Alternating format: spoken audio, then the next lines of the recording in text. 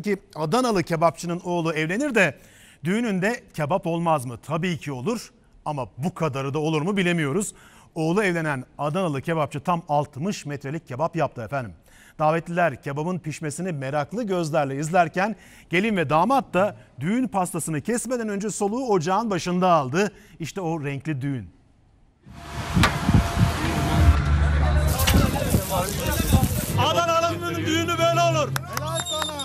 Adanalı'nın düğünü böyle olur dedi. Oğlunun düğünü için 60 metrelik kebap yaptı. Alkış! Adanalı kebapçı Yaşar Aydın'ın oğlunun düğünü vardı. Osmaniye'deki düğüne 60 metrelik Adana kebabı damga vurdu. Bir tarafının pişmesini bekliyoruz. Ora hafif pişti mi hemen çevireceğiz. 60 metrelik kebap büyük bir özenle yetiştirildi ocağa. Hadi arkadaşlar çeviriyoruz. Çeviriyoruz.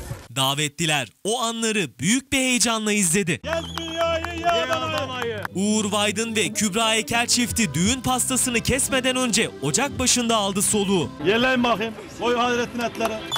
Evet yeni bir kebapçı daha katıldı bize. Daha sonra davetlilere Adana kebabı ikram edildi. Duygunun en güzel bugün oğlumun evlenmesi. Düğün nikah töreninin ardından düzenlenen eğlenceyle devam etti.